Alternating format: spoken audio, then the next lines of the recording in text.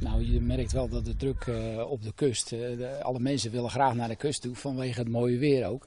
Dus we moeten veel meer neven kopen als normaal al. Ja, we zitten ook behoorlijk volgeboekt, ja. Worden jullie veel benaderd? Jazeker, we krijgen per dag uh, vele telefoontjes. Of mensen die aankomen rijden, die op goed geluk. en die moeten we vaak toch afwijzen.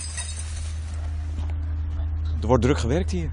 Ja, we gaan weer verder. We hebben een paar mooie dagen gehad hier. En, uh, ja, dat is wat goed bevallen. En we gaan nu langs de Waddenzee een stukje verder rijden. Is er plek, denkt u? Ja, dat moeten we afwachten. We hebben de komende camping hebben we wel gereserveerd. En de andere campings gaan we zoeken waar een mooi plekje is. En als er plaats is, dan gaan we weer verder kijken. Jullie hebben mazzel gehad eigenlijk?